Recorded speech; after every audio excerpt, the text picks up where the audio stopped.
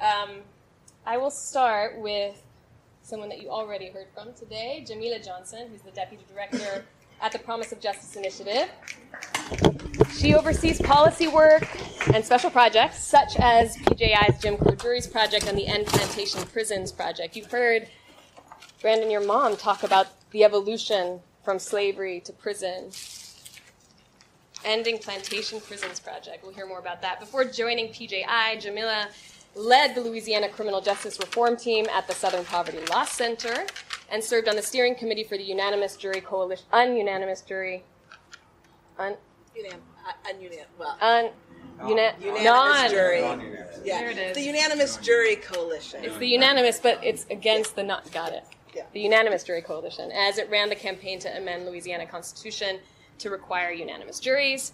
Additionally, she's been in leadership for Louisianans for pr- prison alternatives since 2017. Jamila has a law degree from the University of Washington School of Law and spent a decade at the Pacific Northwest law firm Schwab, Williamson, and Wyatt, where she was a constitutional litigator and firm partner.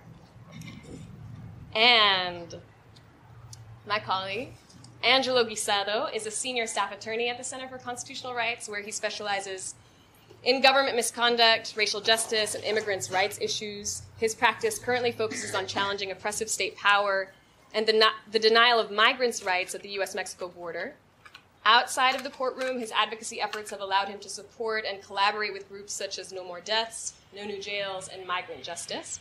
Prior to coming to CCR, he practiced at Paul Weiss, Rifkind, Wharton, and Garrison LLP. Lots of names there. Where he litigated cases in federal and state courts across a broad docket. He's a graduate of Fordham University School of Law, cum laude, and a former law clerk to the late Judge Damon Keith of the U.S. Court of Appeals of the Sixth Circuit. Jeremy Young is a senior producer with Fault Lines, which is the documentary program on Al Jazeera English.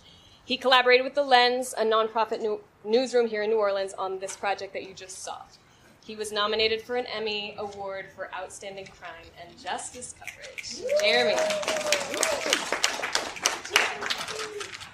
And last, but certainly not least, Mr. Jackson might not need a formal introduction because it's his life story that we watched tonight. I think you can sit wherever you want. In February of this year, after more than 25 years behind bars, he was finally granted.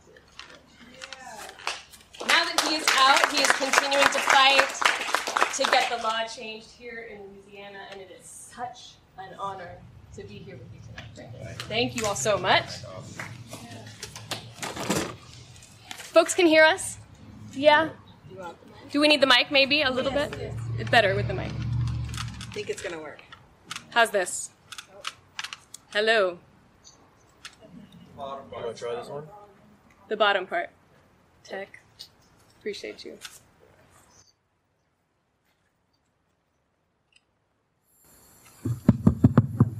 There we go. Oh, Thank you, Michael. thank you, Michael. Shout out to Tech. Um, friends, I, I had questions. Um, I had a lot of questions before, and now I kind of just want to just want to open it up, and I I want to start with you, Brandon. Welcome home. Thank you. And there's I have a couple questions, but first, can you tell us about your mom?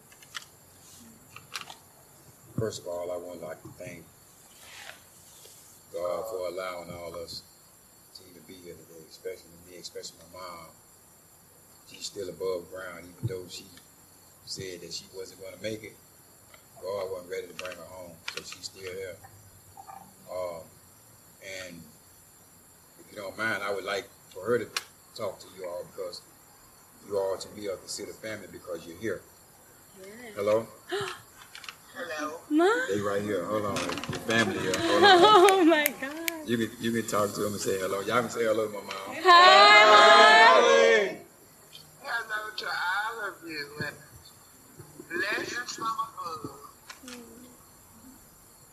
I thank you all so much for being there for my son and helping him to realize his true worth as an individual and not a family. Thank you for standing by his side. Yes. Also the hand that controls. So I have no other choice but to console it because I mold it. All right. I love you. I just wanted you to say hello, and I want them to say hello to you. I'll talk to you later. Okay, love you too. We love you, Mama. Bye, Miss Molly. That's Jeremy. and Everybody talking to you. I, I thought, Big Jeremy. Yeah, that's big Jeremy. That's not little Jeremy. And Miss Jamila and every PJI, CCR, Rob, Fox, all of them. Yeah, everybody. Yeah. Okay, baby, you take care now. All right. I love you. I'll talk to you later. Love you, Mom. Bye.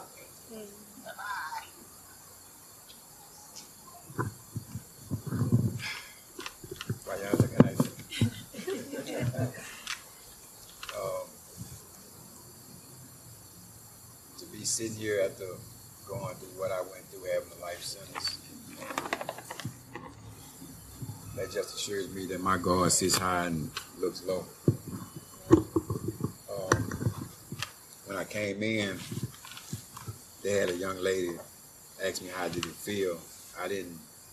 I'm not gonna put on the spot. It's like I, I never put anybody else on the spot, but Brandon, hold the mic up closer. just, just for I guess um, a few minutes, I just would like everybody to close your eyes so you can understand how I felt. I want you to really understand how I'm, I'm about to present this to you, and I just want everybody to close their eyes right now. How I felt was, you have a husband and wife, you have a significant other, um, and the female, she becomes pregnant, carry her child for nine months. She has that that child. She gives birth to that child, and we all know that sooner or later, the nurses will take that child away from their mother to go wash their child up, put her put the child in the incubator. Now it comes time where the mother walks down the hall or get pushed in a wheelchair down the hall. The father's with the, the mother. Matter of fact, he's pushing her. And you go to set your eyes on that child for the first time when that child was taken away from their mom, only to be told that that child is missing. That child is not there. Do you can you even imagine how that mother and how that father would feel? Because those things happen right now in this world with, with, with human trafficking being taken away and placed somewhere that you don't want to be, that you don't need to be, that you didn't do anything to cause yourself to be put in that place or that predicament. That's how I felt. And right now, I sit here as a man who's full of life, excited about the future and what to come. I came from a, a good two parent household, but full of promises. And even though that wasn't my biological father, he raised me. Uh, but eventually, my mom, she became my everything. She became my mom. She became my father, my best friend, everything. Um, and when I got incarcerated, my mom was running track. And right now, you know, she can barely walk. You know, she, she need help just to stand up sometimes. But uh, God is good. I stand here and sit here as a man. I made mistakes. I made bad decisions. I made bad short choices. I stand here as a man who was lied on. I stand here as a man, a black man that society basically feared. And because of that fear, they, they, they, they do what they do best. They lock you up and they throw away the key. And that's why I fight so hard. That's why when I was released February 11th, I, I haven't stopped running. And I'm not going to stop running until we can get some of these laws changed. especially especially the Jim Crow law, one that was put in place to silence, stop us from voting, and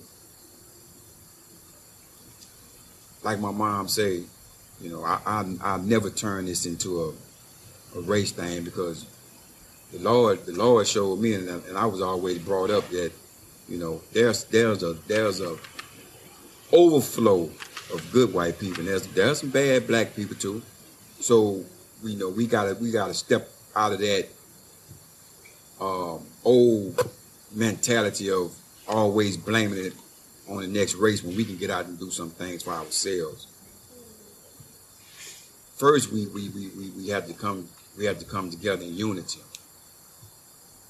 like we are here tonight. We, we, we, we, we, we have to come together in unity. We have to fight for all the causes that need to be fought for. It's like they got 1,500 more prisoners that's being affected by the non-unanimous jury, and that's one of the that's one of the laws that I want to fight. That's one of the laws that I want to put forward, or help put forward, with the help of all of you and the people that's behind the scenes, the people that I don't know, because it is big. It's bigger than me. It's bigger than us, and that's when when you make a, a, a ruling that a law is unconstitutional, it should be just that, unconstitutional. It shouldn't it shouldn't be split in half, meaning this half is retroactive and this half is pers- perspective. If it's unconstitutional, it's unconstitutional for all. Not not don't just let half benefit because the the, the, the, the part that's benefiting from it might have more heinous cases, not saying that they're guilty, than the ones that had been locked up 25, 30, 40, 50 years. Thanks, Brandon. And and and and the motor bill, the habitual offender act. It's a it's a lot of laws that we need to challenge. There's a lot of laws that we need to try to change, that we're going to change Amen. if, if everybody come together. That's right. Thank you, Brandon. And we're going to have a chance also to talk more about Step Brothers, what you're doing, the laws that you're that we're all going to be joining to work against for sure. Thank you for that. Thank you for sharing your mom with us. I love that she was on the phone. That was, amazing. And we'll come back for a bit, but I want to open it up a bit to the panel um, and turn to you, Jeremy, as a producer, as a documentary filmmaker. Just what drew you to Brandon's story? Why this story in this moment? Why did you want to tell this story? Nice. We good? Good. Uh, this is the first time we've viewed the documentary in any sort of public atmosphere. It's the first time that Brandon and I have watched it together, for sure. And I couldn't stop crying. I couldn't stop crying.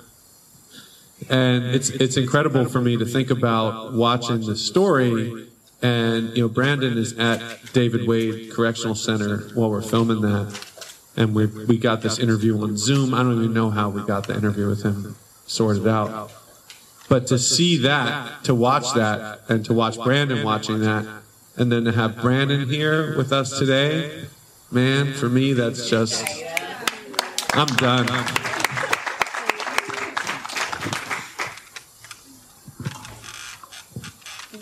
We're going, it really is such a special night. You feel that? Yes. It's just so special. Thank you for being here. We, we want to talk about these issues too. Um, so much of what you just shared, Brandon, you know, talking about fear, talking about the society, to talking about the laws, all the all what the film talked about. This system is by design, the history of these laws. It's about preserving white supremacy very explicitly. Um, we want to talk about that and hear a little bit more about the Jim Crow Juries Project for folks who haven't heard so much about PJI's work. So, Jamila, I'm wondering if you can tell us about this work, how it came to be, um, where are we now? Because there's important developments that hopefully you can share with folks. Yeah. Um, So, someone who worked at PJI when I started here, um, the Ramos case, where the U.S. Supreme Court said Jim Crow juries' verdicts were unconstitutional, was the 24th case he filed to the U.S. Supreme Court trying to challenge this law. Um, couple months after PJI started was when its first petition went to the U.S. Supreme Court, and you know, we're turning 10 next month. Um, this has been something that's like such a fabric of what PJI is and has been doing for all of these years. Um, but in 2018, the voters in Louisiana voted um, yes on two, which was to amend Louisiana's constitution and say at some point in the future, we don't want this to be what we do anymore. But the problem is justice is slow. And so we get back after the law passes, it goes into effect. There are parties at the governor's office. Everyone is so excited who voted for it. And then a couple of weeks later in the advocate, you see another person had been convicted with a non unanimous jury verdict. Um, and it was heartbreaking because 23 times the U.S. Supreme Court said it wasn't going to look at this case. And right after the law changes, time number 24, the, Louis, uh, the U.S. Supreme Court hears the Ramos case. And to have conservative justices say, not only are non unanimous jury verdicts unconstitutional, a violation of your Sixth Amendment rights to a jury trial, but they are also rooted in Jim Crow. We're talking about conservative Supreme Court justices who are saying what you did, Louisiana, what you do is is atrocious. Um, you know, Brandon said it right. Um, if something's unconstitutional, it was always unconstitutional. That is exactly what the U.S. Supreme Court said in Ramos. But when asked to make it retroactive to the people who had final convictions on the day of the Ramos decision, um, they said not only were they not going to make the non unanimous jury issue retroactive, they weren't going to make the state of Louisiana do new trials, but that never again would they tell the, any state that they had to do new trials if it was a criminal procedural constitutional violation.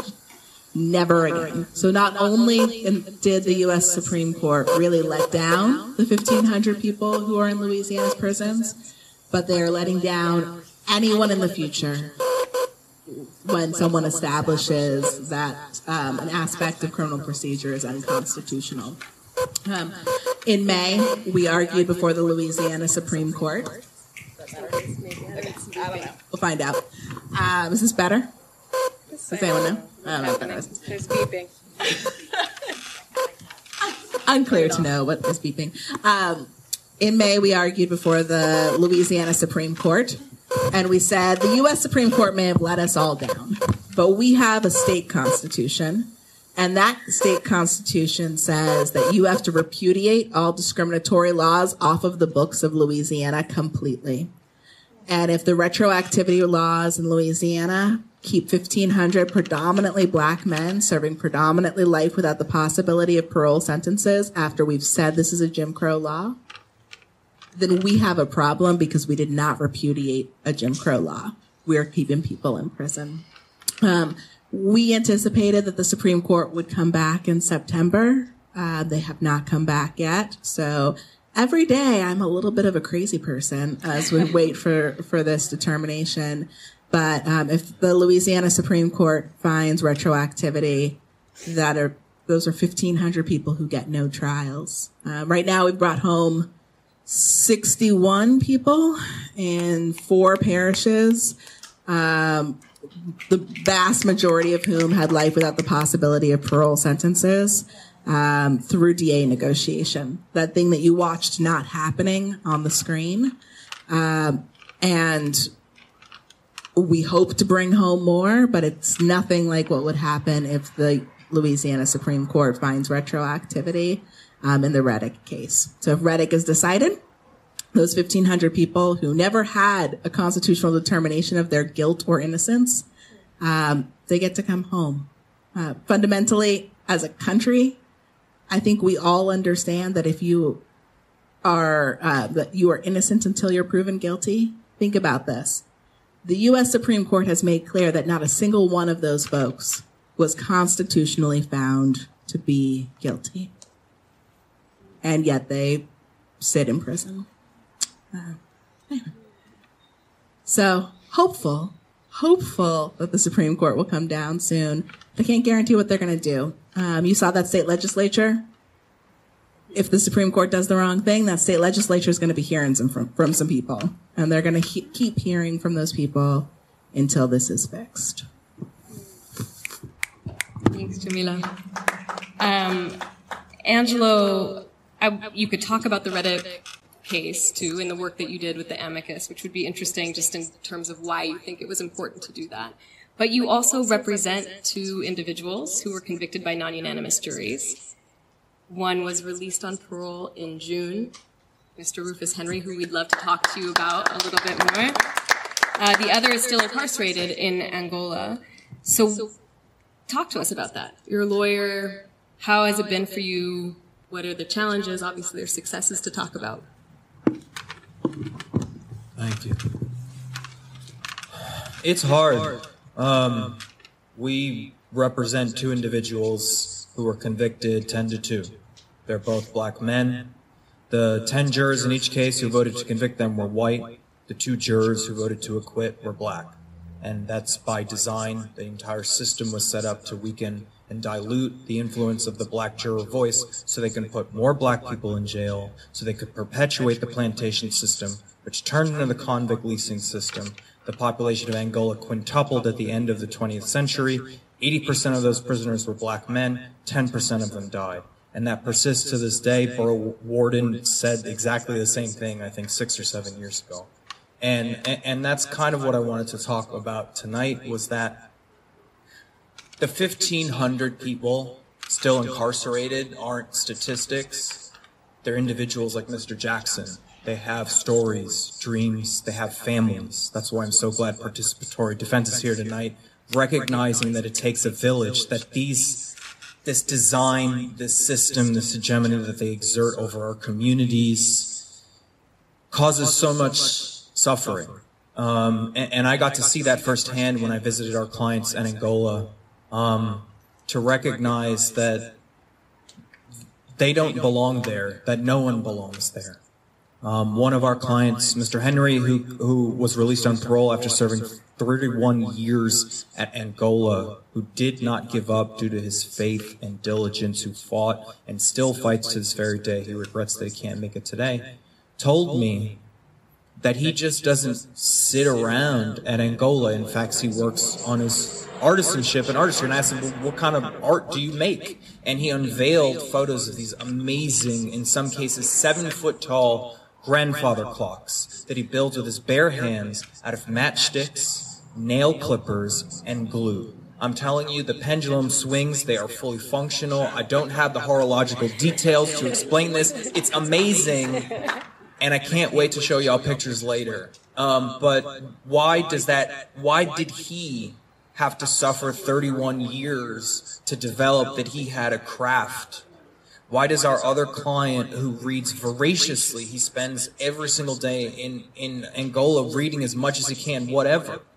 How to be a sports agent, how to be a teacher, how to be a record executive. Why, why did, why did this system kill their dreams? Why did they postpone Brandon's dreams? And the reason is, is because they can. Um, it, one of the hardest things about this case was just the powerlessness to challenge something even a right-wing Supreme Court could deem unconstitutional, but were left sitting with their hands tied. Justice delayed is justice undelivered. Um, and, and, that's why I'm so glad to partner with PJI um, to try and fight and end this once and for all.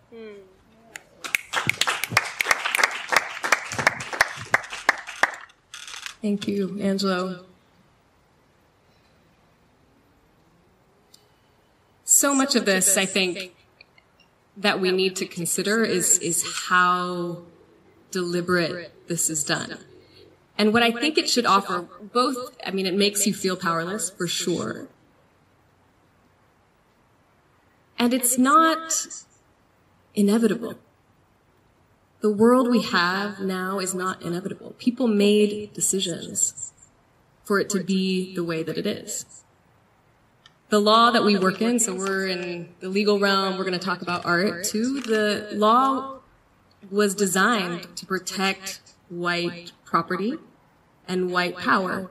It was written by white people to do that. And so it's working exactly as it was intended. But because it was written, because it was decided, it can be unwritten. And it can be undecided. It can be undecided. It can be challenged. It can be rewritten. And I think that's our call too, because it can feel so overwhelming. Like, my God, they wrote all of this by design. All of these systems, our carceral society.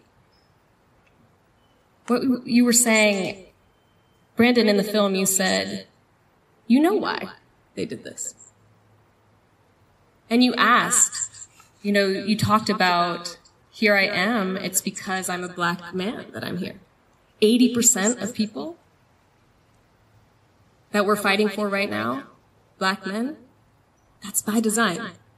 And I think part of our hope in talking about the systems this way is that it forces us then to sort of unlock our imaginations of what it is that we want, what it is that we demand.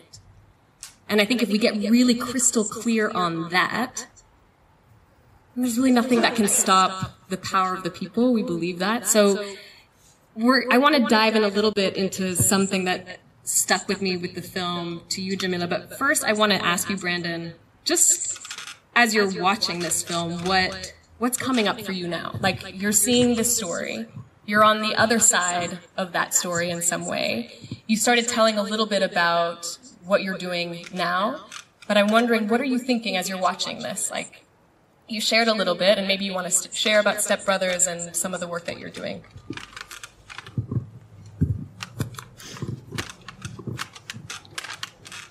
To be just totally honest, when I was watching that documentary, each time I watch it, I just get emotional, but I try my best not to let the tears fall. Because I feel like if I let them fall, I'll be letting the 1500 that's still behind bars down. So I gotta stay strong, not only for me, but for them too. And that's why I'm doing what I'm doing. I hit the ground running. Um, I started the organization Step Brothers. You mean stepping to the pinnacle of your highest performance. And I'm basically stopping young men from going through what I went through, from being in prison. Because we're dying and killing each other at an alarming rate. And I'm educating them. I'm teaching them to be men. I'm teaching them to be a better employee, a better family member, better everything overall. Become that man that society said that you're not going to be. Because there's two people that's born every day in the hospital. It's the ones that's going to succeed and the ones that's not going to succeed. And like I tell everybody, B stands for birth, D stands for death, but you can never forget C.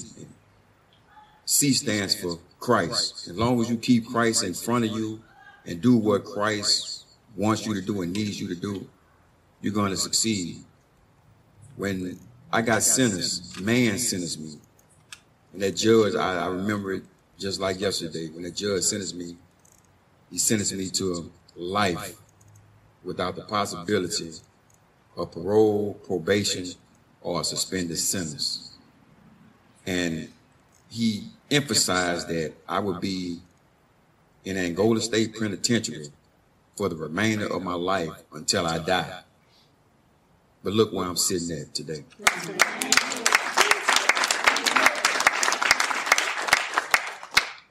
So that's why I'm so passionate about what I do.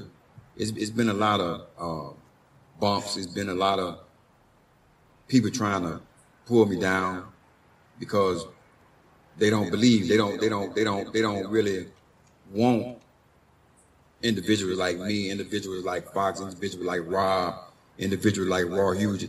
They don't want us to come out of prison and show that, hey, look what you created. Look what you did. Look what look what side we on right now. We are literally trying to save lives. We're literally trying to stop these young men from going to prison. And that's what we're going to do until the day we die. Save lives, save time, which I hear Fox and Rob talk about a lot. You're out here in the business of choosing life. Despite the systems, despite a society that at birth, you're right, tells you whether or not you're going to succeed. See, believes that it can tell you that. And you're out here saying no. And I sit here Amen. as a man with possibilities, with hope. Absolutely. And I never turned my light switch off concerning my faith. Even when they transferred me away from Angola. In Angola, you at one time you wasn't seeing no one go home. Only thing we seen was going to a funeral and hearing about they being buried at Point Lookout. And they have so many graveyards right now on the inside of Angola State Penitentiary. And they don't even put the name on the cross. So you don't even know who's in that, that grave.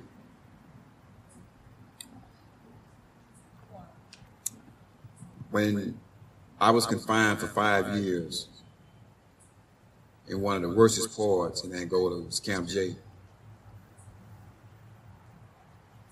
And that's why it's, it's, it's, it's, imperative. That's why it's a must. And when you use words like must, that's, that's mandatory language. I, I have to succeed in what I'm doing because my mom was there every step of the way. They had two guards beat me literally to death.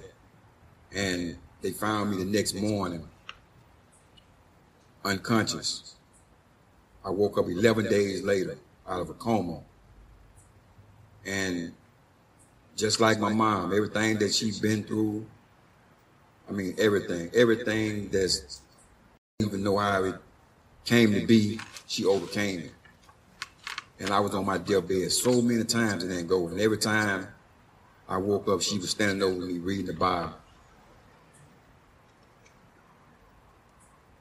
And that's why I can never, ever allow myself to miss sitting with my mom in the morning time, just hearing that wisdom, drinking that cup of coffee, just watching her talk to me and listening. Because you mentioned the word village. We don't we don't have villages no more. I remember at one time the children were scared of the parents. Now the parents are scared of the children. And we need those villages back. We need to get we need to get these laws changed. We need to get up every morning and look in the mirror and tell ourselves and ask ourselves, what can we do better? Who can I partner with? We need to get out and vote. We need we need to stop voting for people just because they attend our church or our family growed up with them or we went to school with them. We need we need people in office that's going to be for the people. And that's the only way we're going to that's the only way we're going to change these laws. And just like we put them in office, we got the power to take them out of office. Look how many people died just for us to have that right to vote. That's right. There's so many things that we can. We have about 10 minutes left. I want to get a couple more questions in and then open it up if folks want to chat too. Um, voting, taking to the streets, creating community organizations, showing up in village. I also want to just bring artists into the room. Are there artists here? People who would consider themselves an artist, who is a creative? Yeah. Artist. Artivists. There's a lot of artivists in this space, right? And Jeremy, I want to talk to you about film. I want to talk to you about the role of art in social change. Um, if you can share kind of on a macro level your thoughts on that, and then look around. There are artivists who want to talk to you, hear what you're saying too.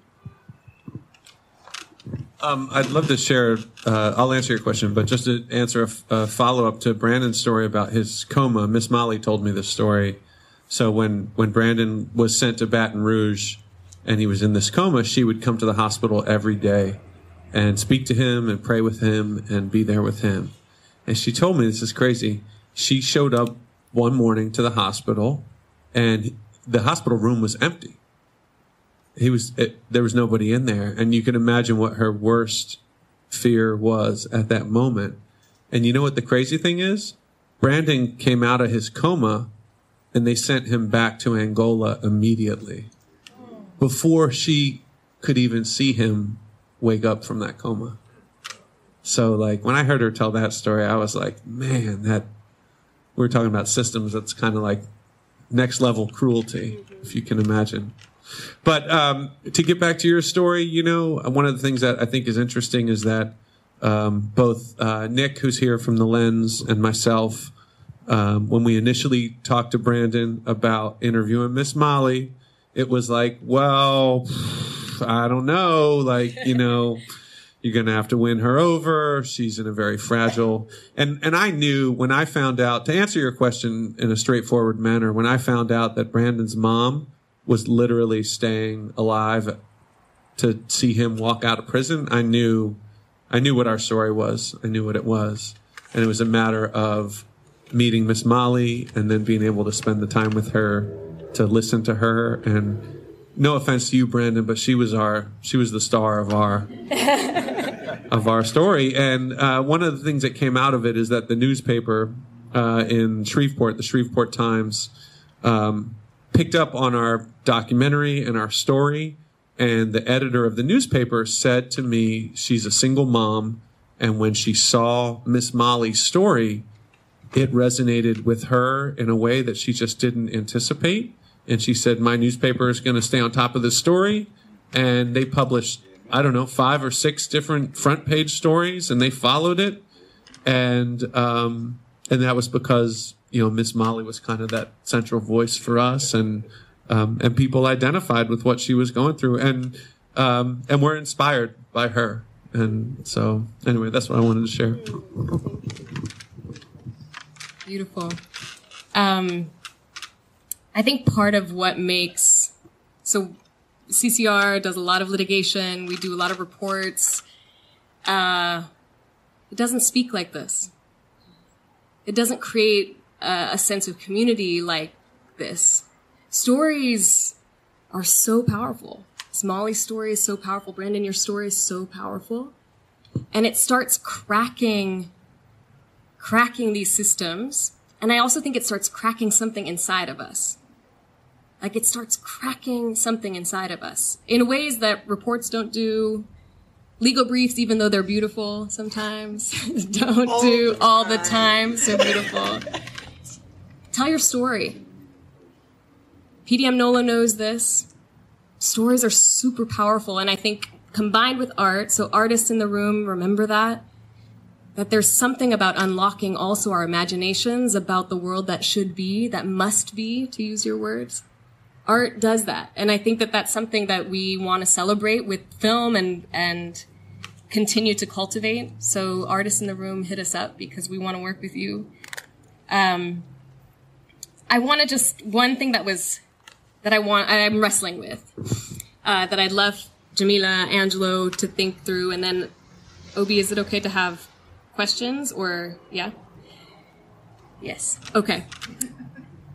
This talk about you know guilt, lack of evidence, or whether there is evidence, or even the opening question: Did you do this?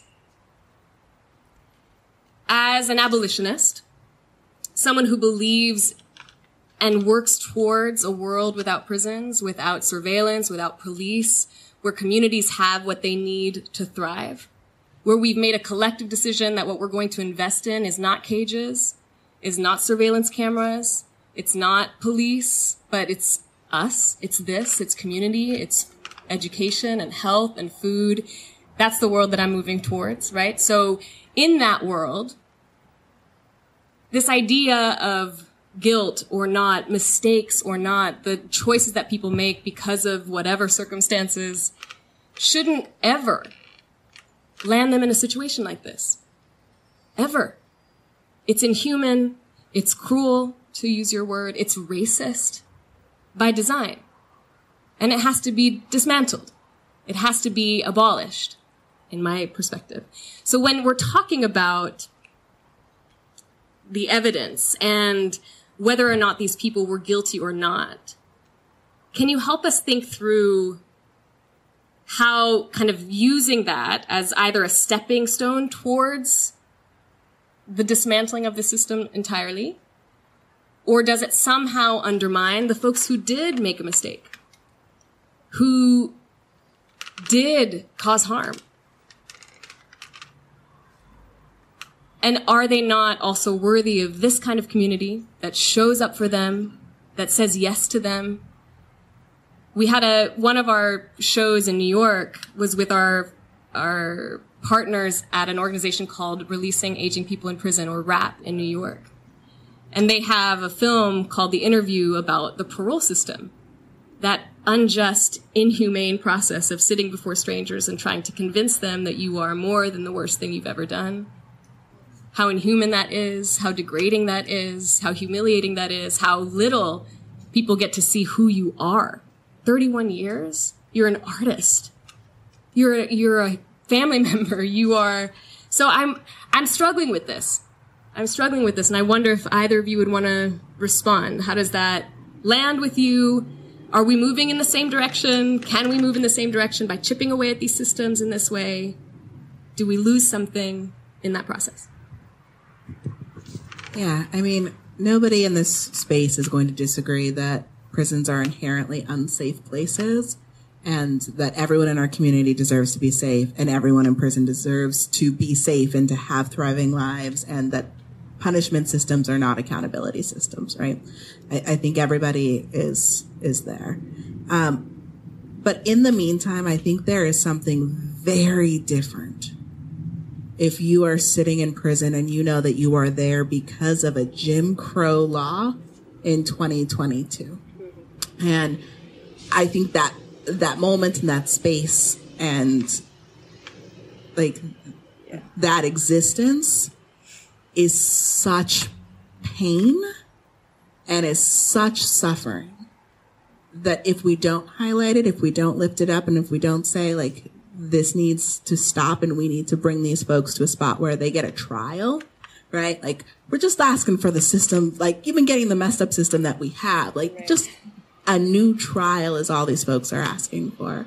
Um, but if we stop to say, dismantle it all, before dealing with the pain that you are carrying as a result of this Jim Crow conviction, a lot of unnecessary suffering that I think we can stop goes on. And I just can't watch that suffering.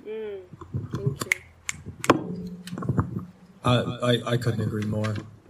Uh, you know, I have two points. One is that, Mr. Jackson, you were accused of armed robbery for $6,000 got sentenced to life without parole. I, I saw in the news that Brett Favre stole $5 million from Mississippi welfare grant. Right. And he's a free man and probably will be forever, and we know that's why that is. And, and that's kind of what I wanted to talk to you about in response to that question was that we wrote a brief uh, as a friend of the court, it's called amicus brief in the Reddick case uh, at the Supreme Court.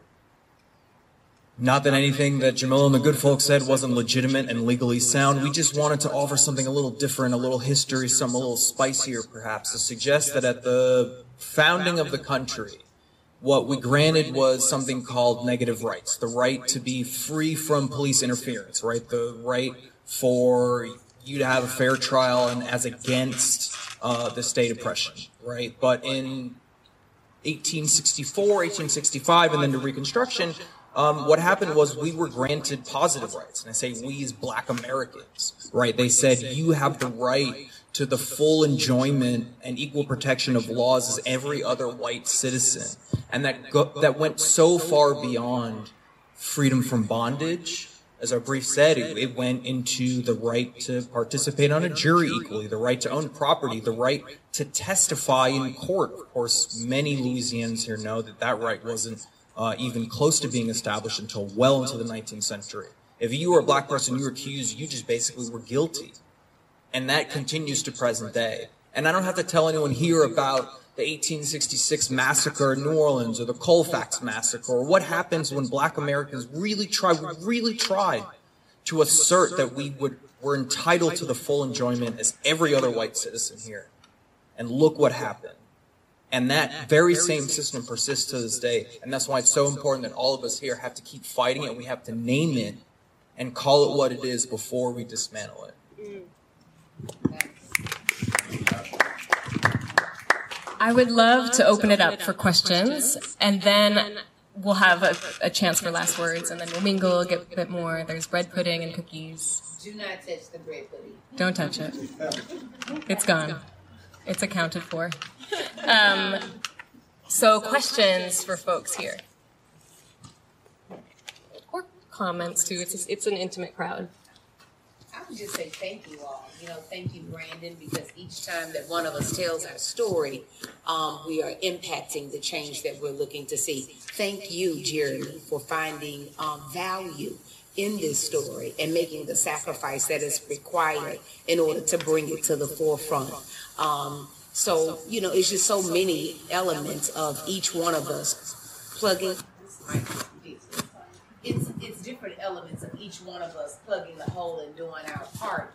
And I would just encourage everybody that is here that when I wake up in the morning, I don't look at this system or address this system or this heartache um, as uh, it's hard, it's unbearable, it's suffering. I look at it and say, if our world was perfect, what the hell would we do every day? right? And so it gives us an opportunity to leave our names in the annals of history that when we came, it was like this. And by the time we left, our names le- uh, is left in legacy because we did something about it, uh, right? Uh, I say in our documentary time, success is the best revenge. So every morning when I get up and I can make them pay, I can make them pay, I can make them pay, pay. Then, then, then we're moving in the direction of saying that we don't just take a, a, li- a licking lying down. It's always going to be something in our society. And I'm just grateful that God is giving us an opportunity to wake up every morning and do a little something different to dismantle the system that we know is not working in our favor. So I don't feel discouraged. I feel empowered. And when you walk out and when you make another film, when when when we write another amicus brief, um, we feel empowered with each one of our, our works. When we sat in the Louisiana Supreme Court and watch one of our sisters and family members, Jamila, on behalf of our partner, um, um, Promise of Justice Initiative, deliver a most powerful blow to the Jim Crow state. I mean, you know, we walk in that power with her, knowing that we're not just taking it lying down, but we're rising up, and all of us here are rising up. And be unstoppable, baby. yes, Fox. Alice Walker says that the secret to joy is resistance. The secret to joy is resistance. Keep fighting, right? Any other questions? I just, I just want to make a comment. I, I, I, I'm, I'm, deeply appreciated uh, the work you all have done, and man, for what you've been through, as you know, what we have been through.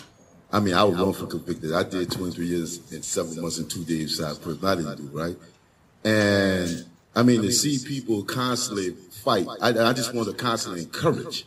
It's like Fox said, you know, when we look at it, I mean, we, we thought about it when we was inside the prison, when we first discovered the now, now unanimous jury concept, right? That was brought forth. Then it was brought forth as a campaign and we changed it. You see, it couldn't be done and we did it. The law was changed. We fought, we changed that. Now, it was overturned as unconstitutional by the United States Supreme Court. So my thing is that, you know, in all the laws and scribes that even we have made in the city, you know, uh, uh, folks who was formerly incarcerated, you know, as you said, you know, we, we out in the community and we educating and mobilizing the, the people and empowering the people to, to make the changes that they need, right? And we have made a lot of scribes and we'll continue on to make scribes. But I want us to always keep in mind, yes, we're going to dismantle the system, But we got to keep in mind that Rome wasn't built in one day, right? And Rome, Rome is going to take the same time. Uh, uh, it's going to be a time period before you can untangle a lot of the things that happened that set that Rome in place. This Roman system that we are actually living in. And some of the things that we are we're working on, we nick and picking at it, right? So we continue on the, the, the to work together in unity, no matter what color we are, what gender, uh, financial positions that we're in, or positions that we are in, right? Use our positions, our wealth, our mind, our love, and our unity to, to destroy the system. That's how we dismantle. Thank you. And all Robert Jones money.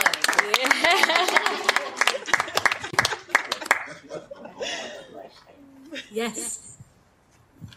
So, what part, the panel, and anybody else in the room, what part, what part do you all believe that art plays in mental health with formerly incarcerated people or even while they're there? Uh, art, yeah? So the question, what role does art play in the mental health of folks who are formerly or currently incarcerated? And then there's there's some good artists. Yeah. Brandon, you're an artist. Come on. I've seen your woodwork. There's, it's all here. I've, I've seen your art. It give you Hold the mic up. an, an escape. No, 'cause it's gonna mess Oh, it's not working. You can hear me? Yeah. It gives you an escape because when you just got time just to sit down and just you, you- you're not doing anything, your mind has a tendency to just play tricks on you, fool you, convince you, talk to you in negative ways. You, you go to thinking negative. Then on top of that, you start receiving the death messages. You receive the the denials that you know, even though you know your writ supposed to went through, you know you're supposed to uh had it reversed and remanded. And they just stamp denial. Like um one year it came over the news that uh they just found out they wasn't even reading the writs, the court hours. They were just stamping denial on it. They were just they were just they were just they were just stamping denial because you was what? You was pro se, meaning that we did our writs ourselves. So they're already intimidated and like how can a prisoner argue cases and case law like this? And he's right. exactly. But we're not going to let society know he's right. exactly. We don't want society to know that we have those type of individuals locked up. But what they don't understand is we're fighting for our lives. So when we branch off into the art, um, to this day, I never worked in the field in Angola. I, I never would allow myself to work in the field in Angola because when I, I arrived Angola, April, I want to say the 4th, 1997, that Monday, they called work call. And when they call work call, they blow a whistle, and everybody got to go pair up in twos at the fence.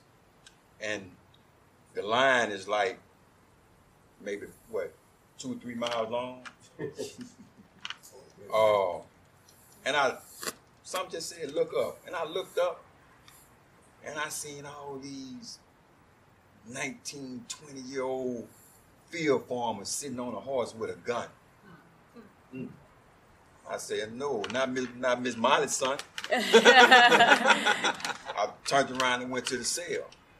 And I stayed in the cell until they realized that, hey, he just not going to go. Just give him a duty status and give him a job. Because the time that I'm spending being a legalized slave is the time I can be studying the law. Trying to trying to win my freedom back. And even now, I'm not free. I, I, I say this all the time. I'm quasi free because I'm still on like 18 years, 19 years of parole. And just like we sit and watch the documentary, they watched it. Right. Because if they didn't, when I made parole, they wouldn't have released me 20 minutes later. That has never happened in the history. of the penal system. Right. Wow. I want to add to that. You in free, because you're gonna get them 18 years back. I'm good, yeah. Yeah, so you're free. And Yeah, we're gonna talk. We're gonna speak freedom. I want to thank PJI. I want to thank CCR with the lens, Al Jazeera. I want to thank all of you. I want to thank my amazing mother for Yes. everything that she did. And you know what? What? What? What really sticks out to me is when the lady said that she basically convicted me because of the way I look. Right. Mm-hmm. Gosh. When when when when when she said that, when I heard that, the first person I thought about Emmett Till. Right. Right. Because you Same you did take my life because of the way I Yes, look. Same Yes. thing. Yes. And if and if I didn't do nothing, was not supposed to be confident. Wasn't supposed to go in the Exactly. courtroom with a little swag? Yeah. Right. Now, then you coming up in here. Right. Here it is. Like. You got all the evidence from the man that said that I committed the robbery from his mother's house. My name wasn't on that lease. Right. You, you, you did fingerprints. They stood in front of the courtroom, in front of me in the courtroom, and basically looked at the judge and said, No, Your Honor, this is not the man. Mhm. They called him on the stand in several lies, and he admitted to the jury that he lied on me. And to this day, I'm not even bitter. I I I I, I don't forgave everybody that had something to do with me going to jail for 25 and a half years because you don't created a beast. You don't created a monster. Yeah, they ain't seen nothing. yet. You ain't seen like nothing yet. Add to the piece of, in your documentary, the young lady, she said that Oof. I couldn't, I couldn't, um, I didn't want my appearance on here, my image, because because of my bosses. I remember one time uh, I had called the courts in Caddo Parish about a mother that her son had gotten sentenced to um, death row at 17, and um, she had a conversation over the phone about one of the jurors and was convicted of jury tampering, and they sentenced her to 15 years in prison. And as someone who had been charged and, and convicted of jury tampering, I called the judge and expressed to the judge that I thought the sentence was excessive and unfair. And the receptionist says to me, um, um, you want me to leave what message up? This is my name. Yes, you know, um, take that down. And then the lady asked me, she says, and, and, and, and where do you work? Mm, wow. Who's your boss? Wow. I said, who is my boss? What does it have to do with me calling you saying and I'm a voting citizen and I don't like how she charged, how she sentenced. I'm a voting citizen and I don't like how she charged, um, sentenced that woman. So, you know, just to hear Wow. her ask me, who is your boss? Wow. Yeah. So That's what what she we experienced is true. Yes. The first thing they want to know in a small town like where we're from is who controls you, who you answer to, That's so I can call them and get you in check. with Right, you. right, right. Who the master? Who your master? Yeah, I, I'm picking cotton on Jeff Bezos plantation right now. She's right. She's right, and there's a lot of things that, and I love the way she just expressed it. Right? Um, What a it's just like you asked what a lot of the things that you know we can tackle. Jury instructions. jury Because- instructions. Jury instructions because they don't understand what they're doing. They don't understand the law, and if you ask them one of the terms or what the judge means, they wouldn't even be able to tell you. But they said that you're being judged by your peers. Right. Ten of them didn't look like me. Right. Mm-hmm. But those were the 10 that voted for me to go to prison for the rest of my life. And I, I'll never forget how the judge looked when they came with a guilty verdict. When they said guilty, he looked at them like, Are you sure? And, the, and, and another, I've been trying my best to find it. But right after they had found me guilty, the district attorney made a statement in the newspaper. I want to say it was the Inquisitor he said that he couldn't believe that he won. But his, his, his the last thing he said in that long article, he said, "But rest assured, you will see him again." Hmm. So that was confirmation to me from God speaking through him, and he he didn't even know it. Hmm. And I kept it just like over 25 and a half years, I kept every letter my mom wrote me. I got a, I got a big black trash bag. Every letter, every card she ever wrote me. And my tribute to her, like you said, leave something. I'm gonna take all those letters that my mom wrote me, and I'm gonna put them in a memoir, because you have to understand that when you you're not the only one incarcerated. Mm-hmm. They, they need to understand that you're not just destroying my life. You, you, my mama taught school for 25 and a half years, but almost 26 years. And when I went up for parole the first time, they denied me. And I had everything. I had 30 degrees, 30 diplomas. I had been without a, RVR, which is a write up for so long, and they denied me. Two voted for me to go home, one voted for me not to be released. And that same night, she had a heart attack in Walmart because she couldn't handle it. And when I got that news, it put me in a spot to where it put me in a bad spot, a negative spot. I had already gave a life sentence back. Now I was working on a 40, which I suppose I had went straight home. But they didn't give me the good times. If you were locked up in 1996, you fall up under what you call the Good Time Act, Act 138, but they didn't give it to me. So they basically wanted me to do the 40 years flat. So I would have had another, what, 19, close to 20 years to do. Uh, and by the grace of God, I met Jeremy, I met Jamila, I met Nick, I met baby Jeremy, Miss Layla, I met the times, the, the, the and I'll never forget what, what Jeremy said to me one time when I, they called me up to the office. He said, uh, he said, Brandon, he said, uh, I seen your documentary. He said, and I can honestly say that you didn't do nothing. And you innocent. He said, I'm not gonna stop fighting until you get out. He said, he said, I'm family now. And he's been family ever since. And I, I just wanted to thank him. Here's to family. Here's to community. Thank you all so much on that note. Welcome home. We're so glad you're here. And we're going to keep fighting until everyone gets home. Follow PJI.